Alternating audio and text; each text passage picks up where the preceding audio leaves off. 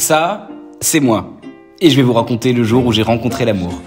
Alors, je vous rassure, c'est une histoire qui commence comme toutes les autres. À la seconde où je l'ai vue, j'ai su que c'était elle.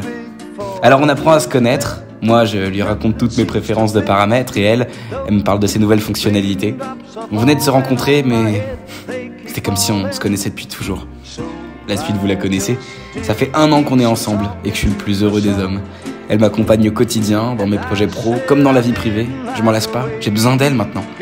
J'ai même rencontré ses parents.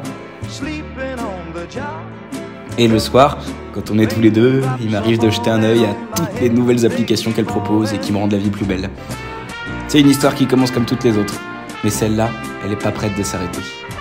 Sauf qu'il n'y a plus de batterie.